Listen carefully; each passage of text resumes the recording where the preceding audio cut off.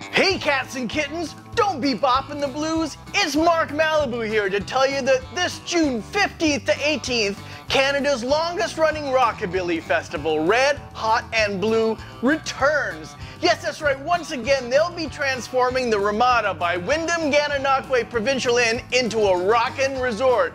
The Weekender kicks off with a Thursday pre-party featuring Cadillac Rumble and guitarist Sean Mencher.